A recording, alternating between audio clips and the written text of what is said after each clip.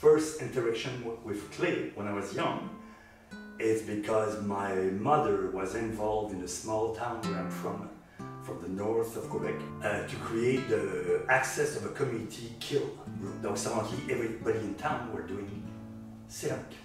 So that was my introduction to clay. All of clay for months. Been out of clay for months because of COVID. Well, I will do a female figure.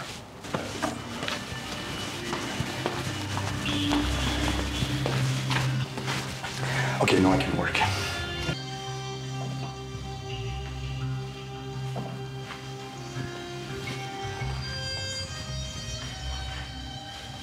Clay is healthy not just for me. You know, with time, when you look at clay, clay is really the bassin of humanity. The best study we're doing in anthropology is finding clay around the world that give us an idea of what was the life of people when they did uh, platters just to cook and to feed themselves and right away they started to illustrate their life. You know, painting in caves. But lots of the painting with caves at the beginning were done with clay. For photography, when you want to illustrate,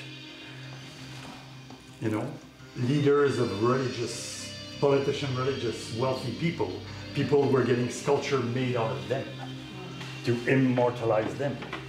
Though Though historically, that's how we did classical sculpture, was to immortalize, you know, people. Working from a block like this give me the freedom to create because I don't have to, sometimes everything is planned and sketched and drawn before I work. But when I do the anatomy now, it's much more fluid even if I still do the body to the perfection of the anatomy, it's in fact flowing.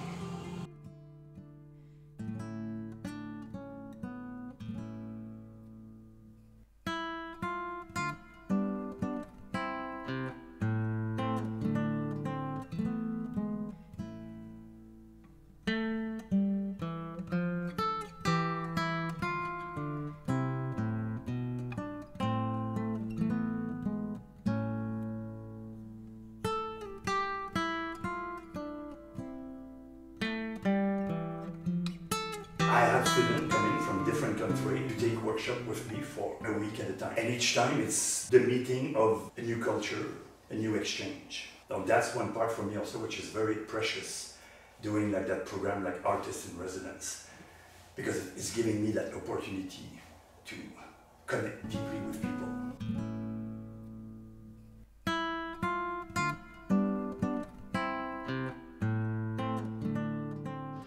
When it's totally done, then I do the first layer of polishing. Then I retake the small knife and then I recut all the detail and then I polish again. Wow. Donc usually it's methodic, it's five sessions. Donc five block, it's done. When I teach a group, it's the same thing, it's five block. Donc they learn to do ABC, I show them exactly what I do. Mm-hmm. Donc that's fun. that's really fun.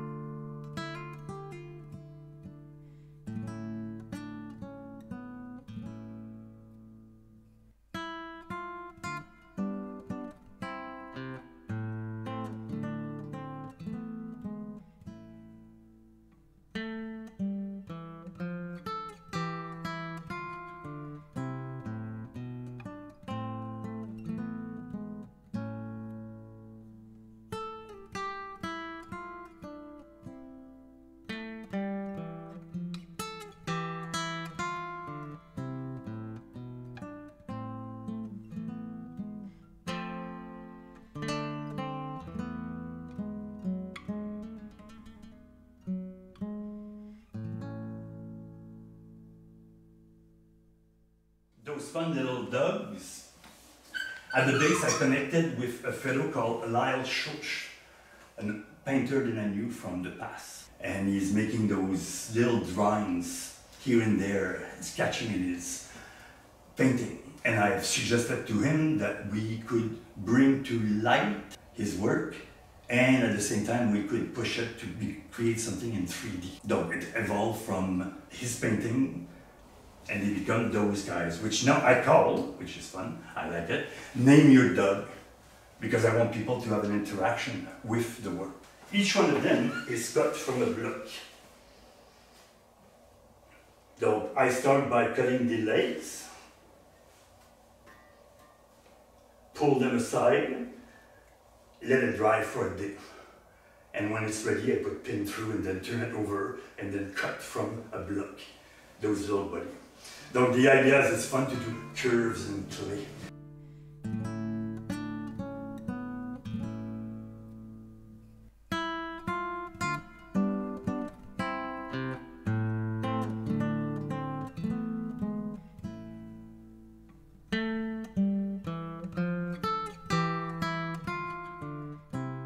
When I teach in, uh, in my studio in Nanaimo, it's always fun to welcome uh, artists and residents. People come with different needs. Some people want to learn more about the clay. Some people want to more understanding a process of creation or even to commercialize an object for some people of different industry.